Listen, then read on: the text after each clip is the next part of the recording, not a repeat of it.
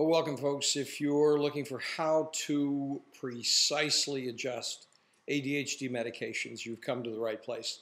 That's exactly what this uh, brief video is about. We've covered in other videos, if you look through uh, my channel, Dr. Charles Parker, at YouTube, you'll see several different videos, one on duration of effectiveness, which is, is going to be somewhat parallel to it, the top of the window and how difficult it is to get with some of the new medications like Vyvanse, we talked briefly about the bottom of the window because all these real videos are really too short to do them complete justice, but to give you an idea, what we're really trying to do is say every single stimulant medication or any medication that's used by anybody on, for mental health purposes should really be dialed in precisely for a therapeutic window.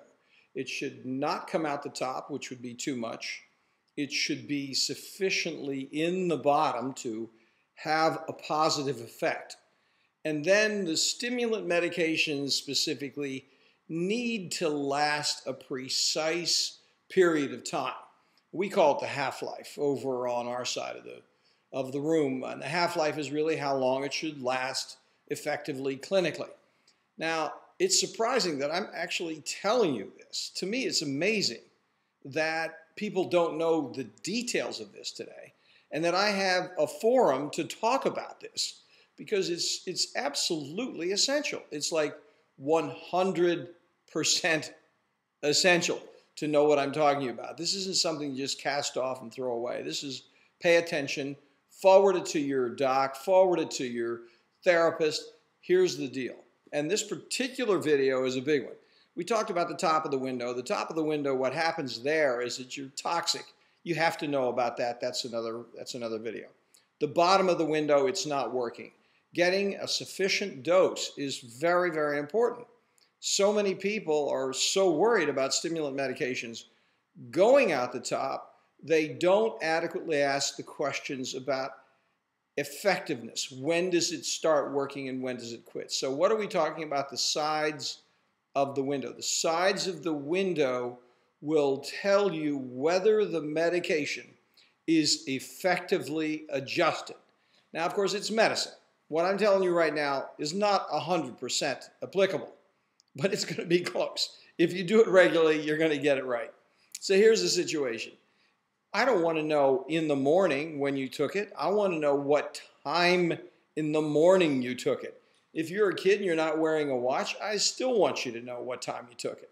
So if you took it at 7 o'clock, that's very key. If you took it at 9 o'clock, that's different than 7 o'clock.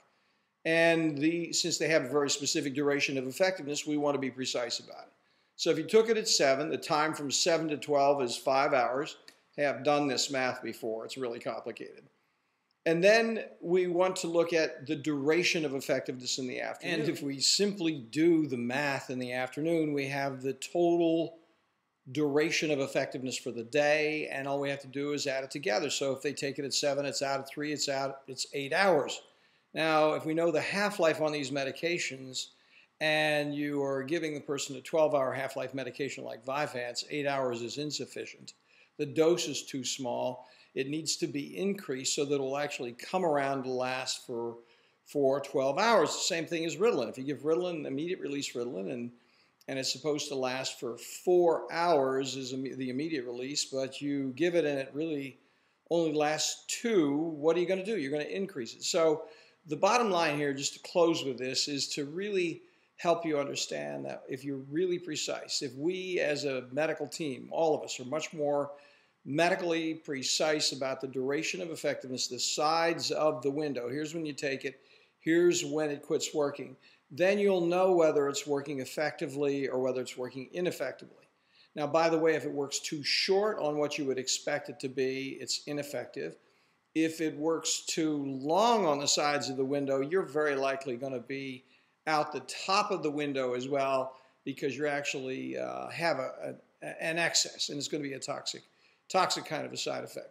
So those are the sides of the window. We've hit the top and the bottom. Really, let's dial the medications in precisely. And if we do that, we're going to be much more um, effective in our dosing of medications.